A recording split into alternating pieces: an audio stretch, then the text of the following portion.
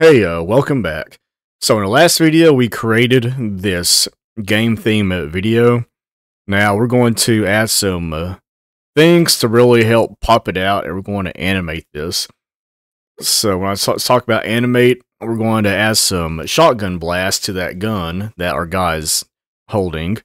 We're going to make this uh, Epoch really pop out, and we're going to kind of spin this around. So we're going to give it a little bit more life than what it is now. So just hang on tight and I'll show you all how to do it. And it's not too hard, but again, it does require a little bit of patience. Okay, so let's go to your browser. I just put in shotgunblast.png. You always want to add that PNG, and that'll get you these right here. And you can pick just whatever one you want to use. I'll always like using this one right here. So the gunshot PNG images, take it, pull it out, and drag it. Now it's not going to come out as a clear image, so we're going to use our background website just to take it, drag it, and drop it. Just want to clean it up. Now we have a clear logo we can use in our videos. So take it, download it no, to the download bar here. Now open your folder, just take it and drag it and drop it wherever you want to. I just like to do it on my desktop just because I'm lazy at this. Alright, now open up your DaVinci. Uh, you can find your file or you can just put it back on here. So you're going to have everything pull up. And now I want to add my shotgun blast. Pull up my folder. It's on my desktop. And let's add that shotgun blast to our media. Now, to animate all this, there's something called keynotes, and that's these uh, little uh, that's these little diamonds right here. So what these diamonds do is they just mark the place of where your image is, and then you can go across the timeline and then hit your diamond again, and that's going to create like a movement. So I'll do a quick one here for example. So I want him to come in. So I'm just going to position him way out. Well, got to click on your person first. I want to pull him out over here. I want to click my keynote.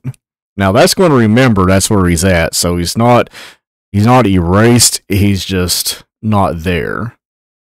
So now we want to drag this out. And I'll probably drag them about, let's see, 8 seconds. Nah. You can use this to bring it in some. I like to bring it in by frames.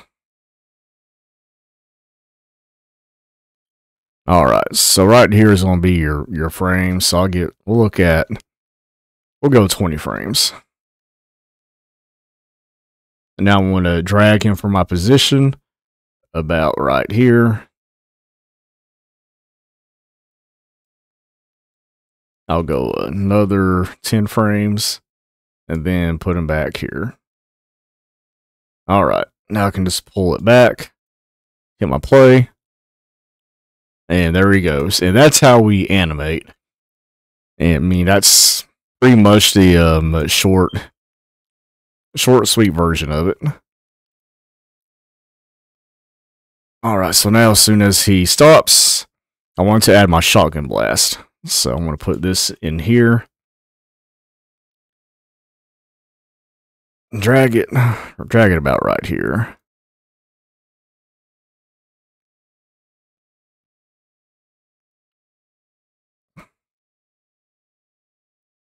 Or someone wants to move that. Let's see, I'll put it right here. And we want to change the angle. So this is going to be our angle right here. Now we can position it here, position it up.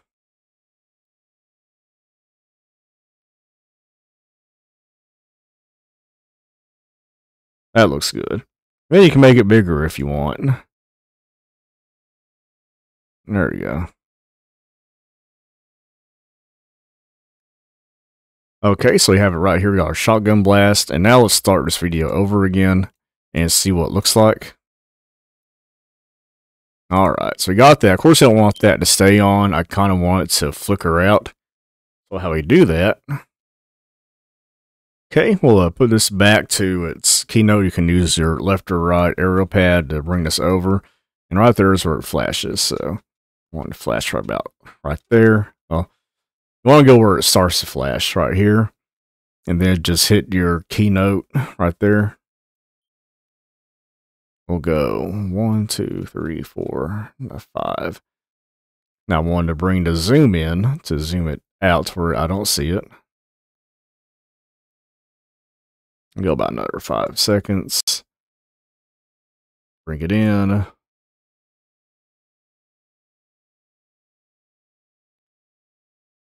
Make it disappear.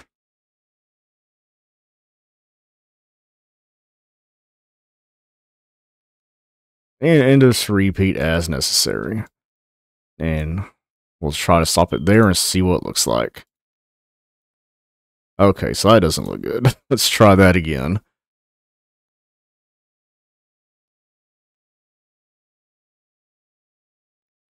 All right, go ahead and reset that. And that's just going to reset all this for this one. Now we want this to be set right there. Okay, so we want to do a different type of attack on this. So we're going to need to reposition it back, reset it. Get your angle going up to match where its gun's at. Raise it. And we just want to do good old copy and paste here. Now, one thing you want to do is hit your plus button here. And that's really going to bring that in. If you don't, this is going to be too... Uh, it's want to get too close together to where you can't make any changes. So I think by default, it would look like this, which you definitely can't change anything. So you'll hit your plus button. And now we can see our gun. And we want to bring it in some. So let's try that. Then hit your arrows to go back and forth on track. And that looks good. So now we're just going to take this and copy it.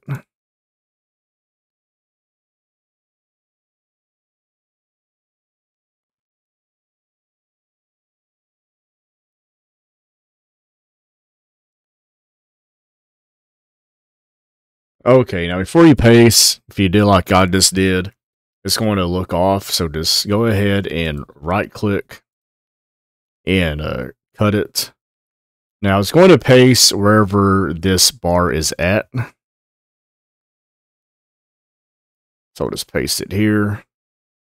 All right, everything looks good. Now, right here, I said this is the frames. So I think to me, it looks best every two frames. So we'll go out another two frames. Paste it. Or two frames. Paste. And then we can just run it back with our arrow keys, go forward. You can see what it looks like. And then you can just sporadically put those bullets there wherever you want. Um, you can use the audio right here to really tell where the guns are at or the sound. So I like to try to match it up with this. I know I got something going on here. So I'll just paste it. Go on. Got some got some more sounds right here. You can also watch that guy too. See him turn around. I know he's going to shoot. Paste that over. Oh yeah, it has a lot of bullets going on there.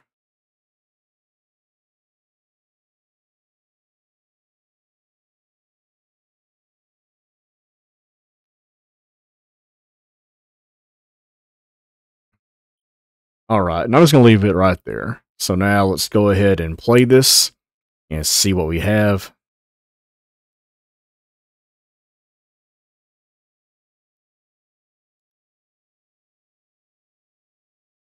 All right, got a little bit of animation there. And you can add more bullets if you want. That just kind of gets you started. Uh, next, let's go to our our um, logo right here. And go ahead and bring this back out to about center.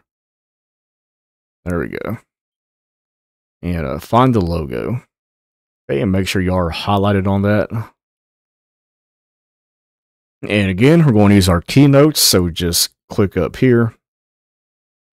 And I want to kind of make it pulse out. Okay, when I say pulse, I mean like this. I can get this to start.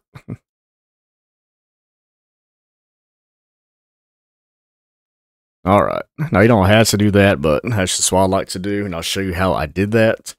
So again, all with the keynotes. So I'm going to reset my keynotes, and I'll show you what I did. So hit that just to reset all of them.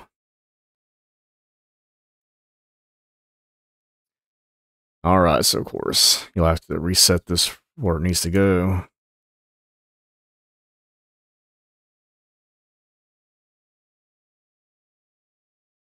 All right, that looks good to me. Lower it. Now we wanted to start right there, so we just hit that on our keynotes. Now the only thing I want to do is the zoom, so we really just need to hit the zoom. And I want to go uh, 15 frames out, so I'm going to hit my right keyboard button 15 times, and you can count right here. We're at 15, and let's go ahead and raise that out. So that looks good. We'll go about right here. Then I want to go 10 frames back to center.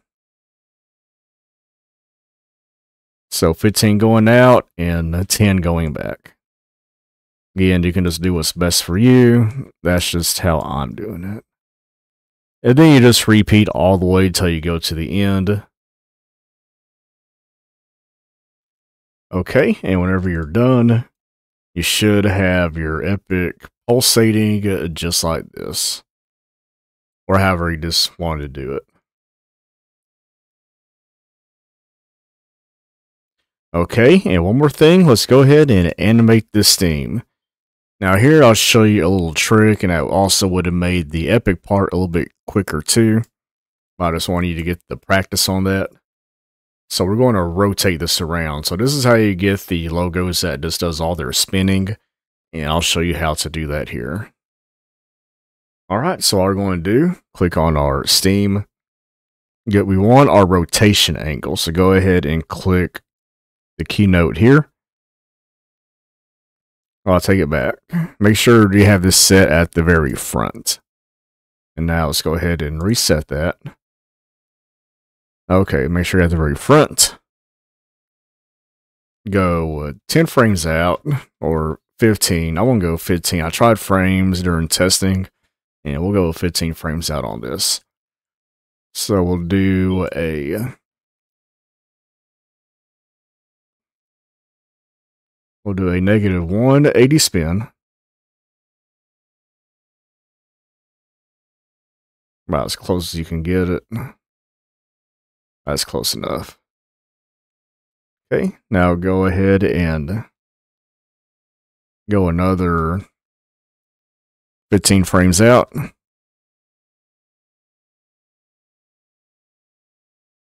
And put it to negative 36.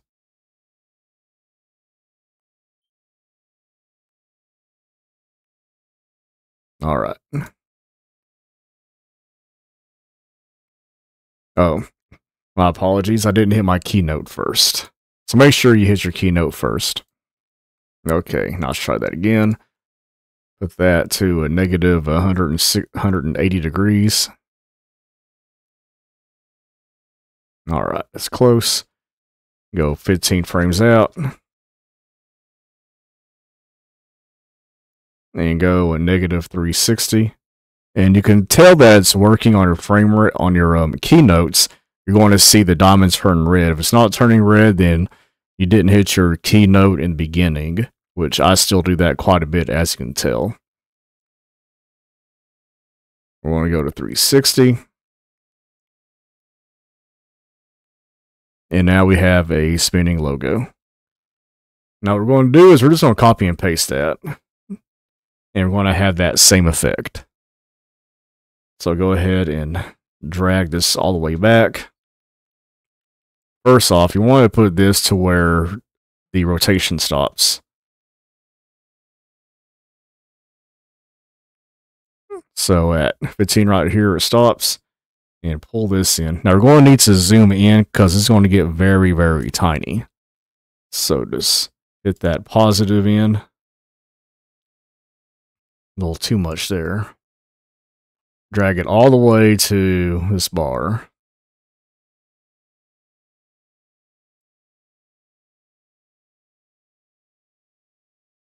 All right, and now we're just going to copy and paste this all the way to the end.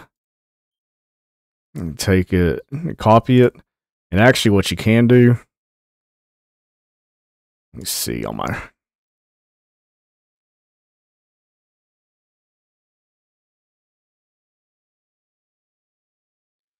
All right, now normally you can just hit Control and V, but I actually have that set on my OBS so I can't do that, but just keep hitting Control and V and you'll have it populate all the way over here.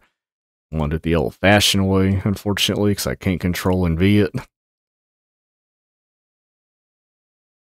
But that's what you'll do if you can't Control and V it. Then as I play it through, we just have a rotating Steam logo. Oh, and always make sure your red bar's out. Unless you're control V in it, then it's just going to automatically pull it out.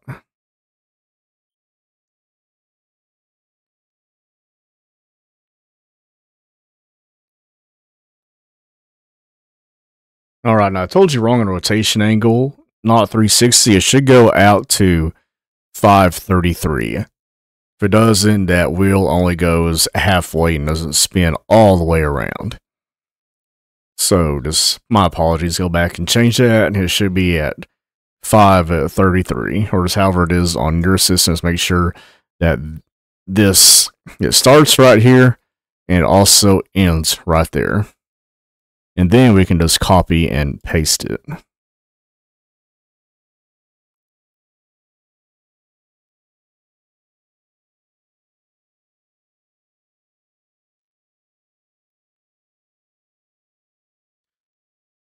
Alright, so look at the upper left. It looks better, but it's not the smoothest rotation. And that's something that you're just going to have to uh, figure out and play with. Now, another way to speed this up, after you get a few of these set, you can actually uh, shift and select. Now I have everything in its row, and then I can just copy it. Now, instead of just having one at a time, I can have all these populate all at once. Pull it back.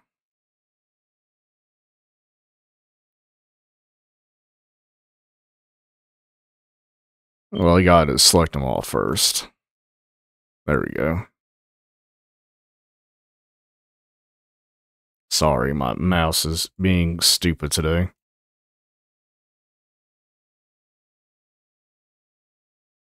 All right. Now we have a whole group of them done. Do it one more time, and this should complete it. All right. Find the end of the uh, video. Looks like about right here is a good spot. Yeah, right there is where it ends. Hit your B button to pull this blade out, and you can cut it. And then just select everything after that. Hit your A. I want to select everything here, shift it, and cut it.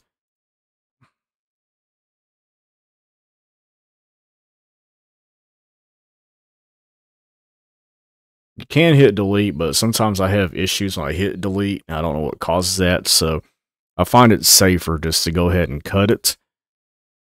Pull the spread bar all the way back, hit play, and now we can watch our video. Now we have a little animation with the guy, we're shooting the gun. We got the Epoch logo just pulsating.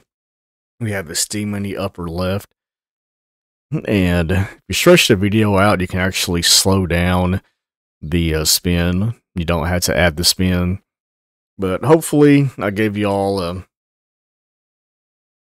hopefully, I gave you all enough to get this started and learn how to make this. These are just the simple tools I use. You can go in a lot deeper, but that's really all you need to do to create these videos. And once again, you know, when you're ready to export it out, you'll go to DaVinci Resolve. I'm sorry, go to File, Quick Export. You can just leave that as is, hit export. Always want to make sure you're at least 1920 by 1080. Yeah, I'm just going to rename it Epoch Animated.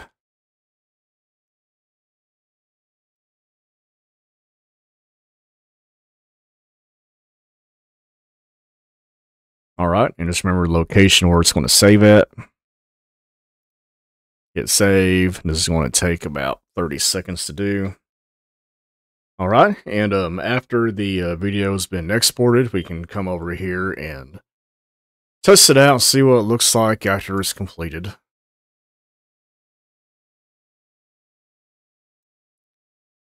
All right, again on my end, I have the audio turned off just so I'm not blowing your ear out.